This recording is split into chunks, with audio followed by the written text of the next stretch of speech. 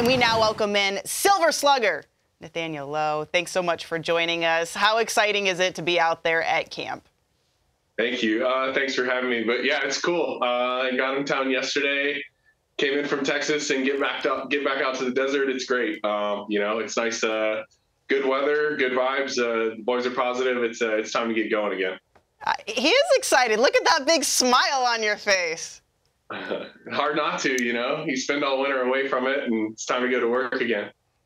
Hey, Nathaniel, it's Harold here. Thanks for joining us, first of all. I really appreciate you doing this. Hey, my question you had such a big year last year, and I could see in the last couple of years the growth starting to happen and the, and the adjustments along the way. What did you work on this off season as you head to another year here?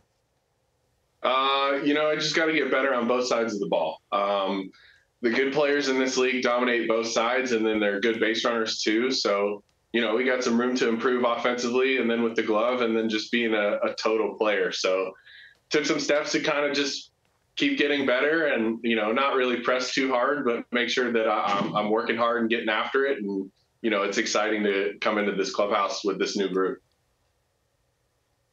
Nathaniel, it's JP. A question for you on your infield, and certainly you welcomed in two superstars last year in, in Corey Seager and Marcus Semien. But with a full spring training, now plenty of weeks to get accustomed, how is that changing the chemistry that you have now entering 2023 with your infield?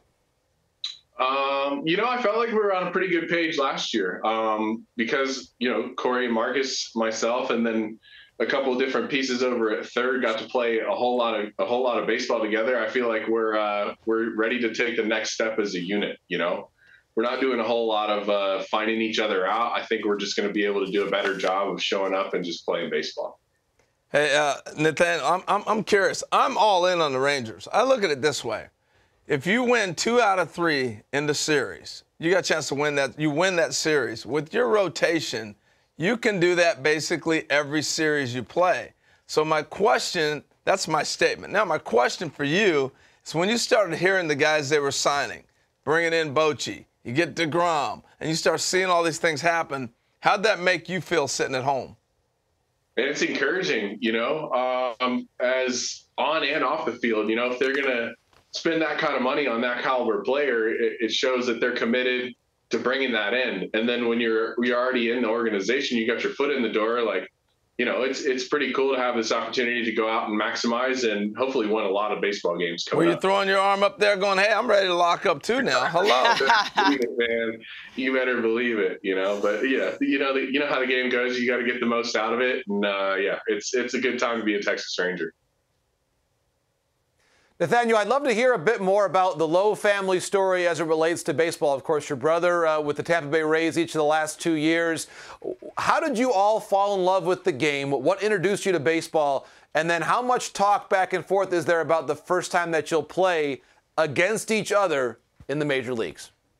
Yeah, man. Um, you know, baseball is just kind of the spring thing to do. We we did it all: uh, football, basketball, which were obviously not my strong suit. He was a lot better athlete. Uh, still probably is a better athlete than me. But you know, spring summer rolls around. You you need something to do, and uh, my parents did a good job of putting a bat and a ball in our hands, and uh, you know, making sure that we didn't turn into pitchers. So yeah, it's uh, it's been a lot of fun. You know, we got a bunch of people that are already committed to come see us play. Uh, we missed him because he was on option last year, but you know, June 9th, we've already uh, we've already got the stage set in Tampa to hopefully have a bunch of people come out and watch the Lowe's play Major League Baseball. How cool is that? All right, so I Harold already asked you about the off-season additions, but I know you're early on in camp. You just got there yesterday, right? But what is the energy like in the clubhouse? Is there a type of renewed optimism?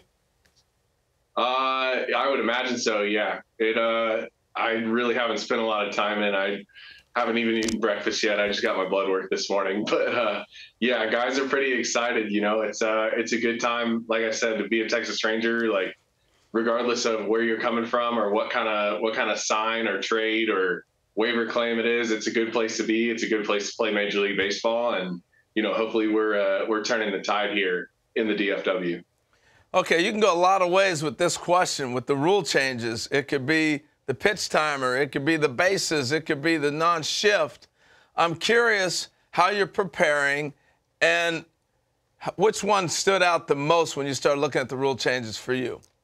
And uh, I got to watch some of the College Classic this weekend in Arlington, and um, that pitch timer is something, man. It's uh, it's going to be an adjustment for sure, you know, because when you're telling me that there's a chance that you can totally change count leverage without a pitch being thrown, that's uh, that's going to mess with a lot of the game right there. You know, uh, it's good that they say it's for pace, um, but it's definitely going to be a learning curve. You know, it's uh, it's just what the game's going to call for us to do this year, and hopefully in spring training we can make the right adjustments and get on track and get ready to go.